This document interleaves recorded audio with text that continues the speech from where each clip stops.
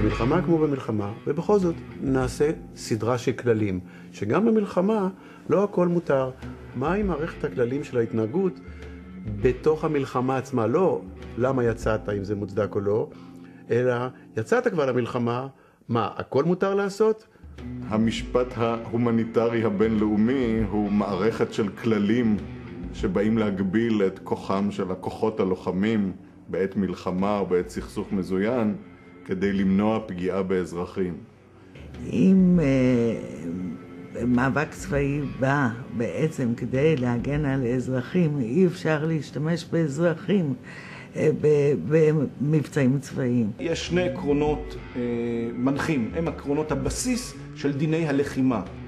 והעקרונות האלה הם בראש ובראשונה עיקרון ההבחנה, העיקרון שאומר שעל הלוחמים להבחין כל העת בין לוחמי היריב לאזרחי היריב ולכוון את הנשק שלהם אך ורק אל לוחמי היריב.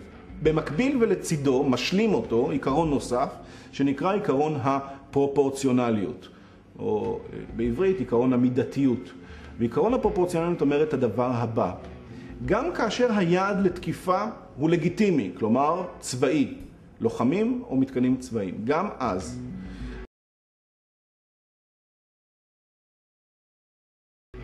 המתקיף חייב לבחון האם הסכנה לפגיעה ביעדים אזרחיים, הצפי לפגיעה ביעדים אזרחיים, הוא כזה שהנזק שיגרים לאותם יעדים אזרחיים עולה על התועלת הצבאית.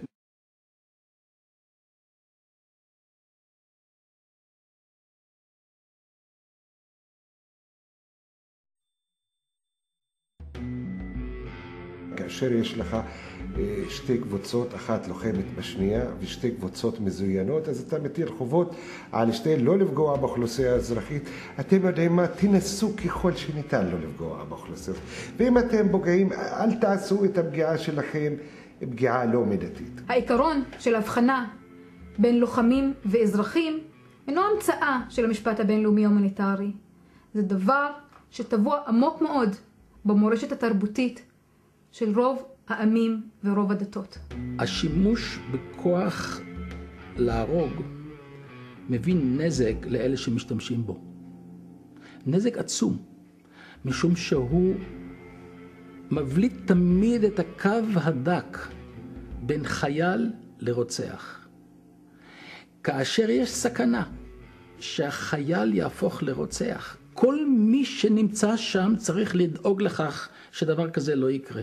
יש פשעים שהם מאוד מאוד חמורים, שהקהילה הבינלאומית רואה בהם כמאוד חמורים, ויש להעמיד לדין באופן פלילי אינדיבידואלים ספציפיים. מטרתו של המשפט הפלילי הבינלאומי היא להטיל אחריות אישית על אישים מרכזיים שנטלו חלק בהפרות המוניות של זכויות אדם. לצערי הרב, מדינת ישראל החליטה ברגע האחרון לא להצטרף לאמנת רומא ולא להיות חלק מהמאמץ הבינלאומי לתפוס ולהעמיד לדין פושעים שפוגעים בערכים הקדושים ביותר לאנושות כולה ובוודאי לעם היהודי. אי אפשר להכניס מדינה שלמה לכלא, אבל כן אפשר להעניש אנשים ספציפיים שביצעו פשעי מלחמה, פשעים נגד האנושות ופשע השמדת עם. נניח שלוחם מסתתר בתוך בית ספר, מלא ילדים.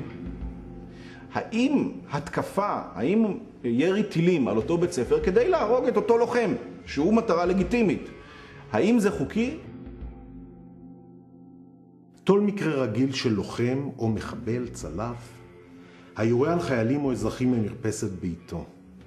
ירייה לעברו תהיה מידתית גם אם כתוצאה מכך ייפגע אזרח תמים. לא כן אם הבית יופצץ מהאוויר ועשרות דייריו ועוברי אורח ייפגעו.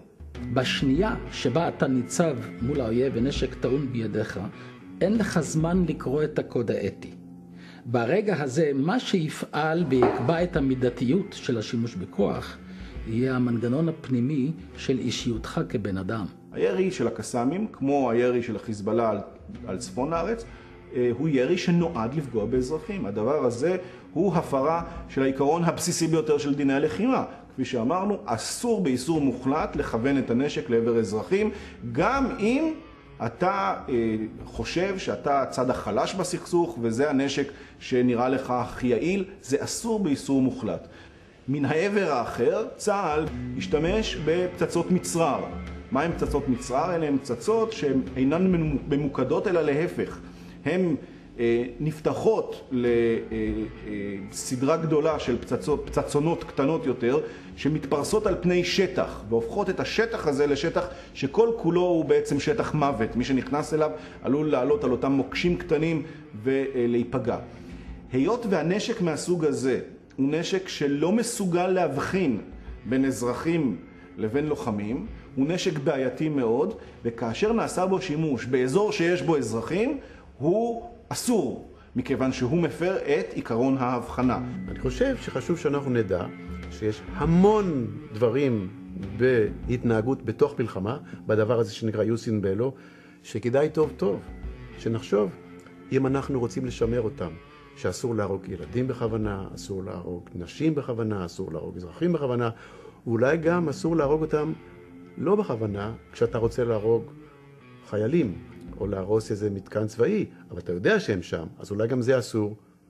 אסור, למשל, לקחת ולהתנהג בצורה מסוימת נגד שבויים שהיא לא אנושית, בין השאר כי אתה יודע שגם לך יש שבויים.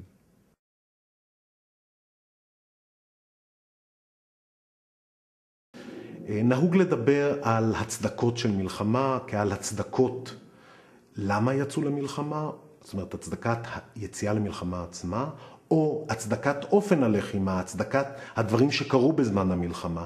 לא נהוג לדבר על ההצדקה של אחרי המלחמה, של מה שקרה כתוצאה מהמלחמה. ואצלנו המלחמה, מלחמת ששת הימים, הובילה ללמעלה מ-41 שנות כיבוש. דבר שהינו לא מוצדק בעליל וגורם סבל להמון אנשים שחיים כאן, פלסטינים כישראלים.